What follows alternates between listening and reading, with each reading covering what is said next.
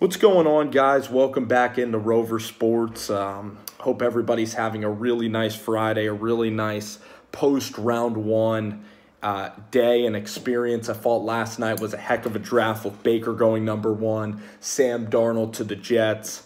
And really, with the Bucs trading out, the Niners had their choice of the litter. You, the only guy that they didn't have was Roquan Smith, but you had Tremaine Edmunds on the board. You had Dalvin, uh, you, not Dalvin, Derwin James on the board, Minkah Fitzpatrick. So you had some great defensive players and talent to choose from. You even had you know, a couple of corners that were left, but I think the next corner to go might have been Jaire Alexander. So the San Francisco 49ers had their, their choice of the litter. They picked Mike McGlinchey out of um, out of Notre Dame. I'll tell you what I think about this pick. Um, I like it.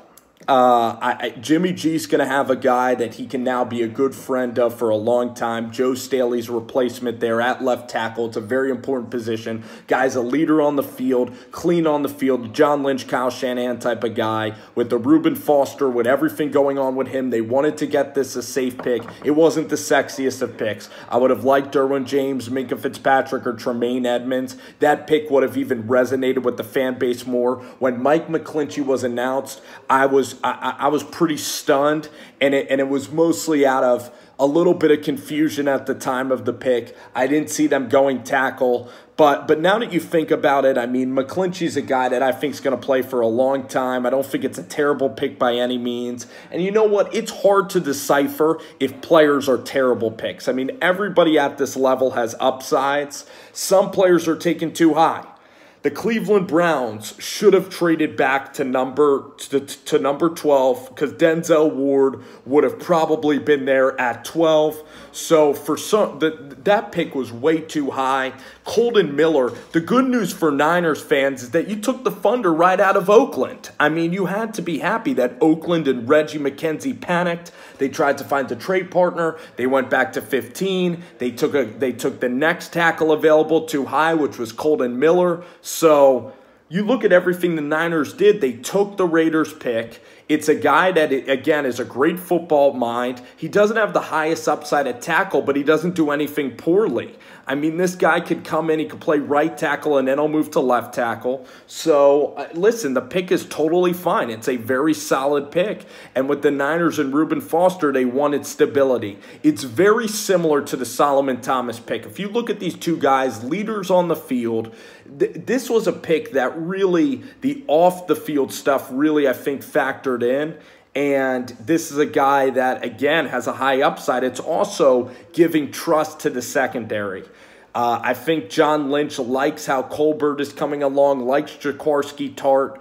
And uh, we'll have to see with the Reuben situation, you know, if, if, we're going to see if the if the judge is going to say some things about Reuben Foster that are very different than the reports coming out. But overall, I thought it was a solid pick. I, I didn't think it was I didn't think it was bad whatsoever. It's going to be hard to have qualms with Quenton, with Quenton Nelson or um, Mike McGlinchey being selected. And uh, of course, the, the defensive players would have been a sexier, splashier pick. A lot of people were left kind of just a little bit, you know, eh, yeah, it's a line, it's a lineman. I get it. But uh, the more you think about it, Jimmy G's now going to have a companion there at left tackle.